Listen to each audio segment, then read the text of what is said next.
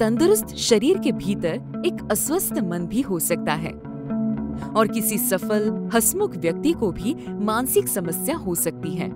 दुनिया भर में मानसिक स्वास्थ्य संबंधी समस्याएँ दिन ब दिन बढ़ रही है। इसी समस्या को ध्यान में रखते हुए साइकोथेरेपिस्ट सिद्धिदा काबरा ने कुछ अलग करने का सोचा और धैर्यदा की स्थापना हुई।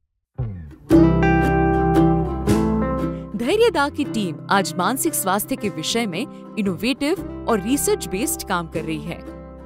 Working on our mental health is as important as our physical health जब हम हमारे स्वास्थ्य की बात करते हैं तो हमारा फ़िज़िकल ही नहीं बट बल्कि हमारा मेंटल हेल्थ भी बहुत इंपॉर्टेंट है for our complete wellbeing this is where Dhairyada works we work in providing dhairya courage to people so that they can accept themselves and understand themselves better seeing this change in people seeing this change in corporates school wherever we do our work bringing in that difference is our biggest reward and is the reason why we do what we do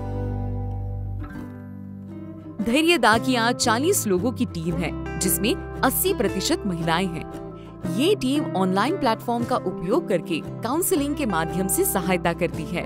व्यक्तिगत counselling करने के साथ साथ उन्होंने schools और संस्थाओं के साथ भी एमओयू किए हैं।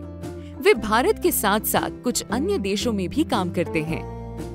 उन्होंने दिखा दिया है कि मानसिक स्वास्थ्य के क्षेत्र में भी पैशन बनाए रखना एक अच्छा व्यवसाय हो सकता है। इस काम की आज समाज को बहुत ज़रूरत है। सिद्धिदा के काम को हमारी दिल से शुभकामनाएँ।